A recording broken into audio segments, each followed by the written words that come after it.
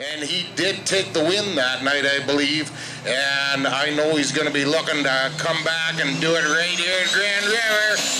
Randy Overton, the evil diesel.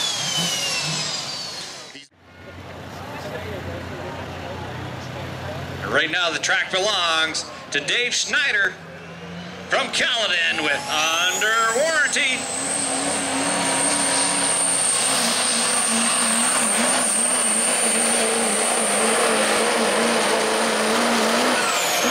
Give him a hand, folks. That's how you do it. Curtis Emery from Hawkstone and Locomotive Breath. He comes out strong. He's got a good fight off the line. Right to the top of his RPM.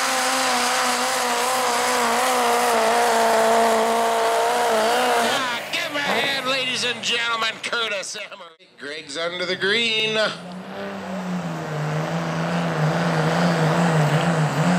Little bit of a hop off the line there. Truck's making good power.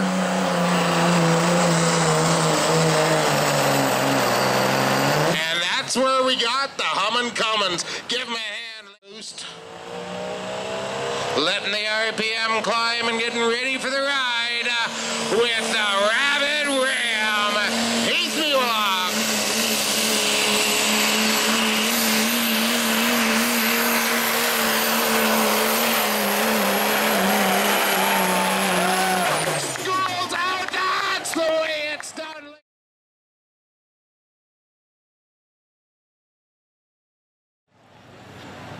Ready to start this pull off.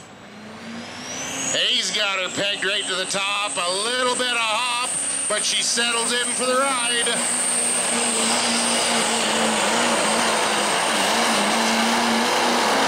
Give a hand, ladies and gentlemen. Dave to the fence if he's got the truck to do it.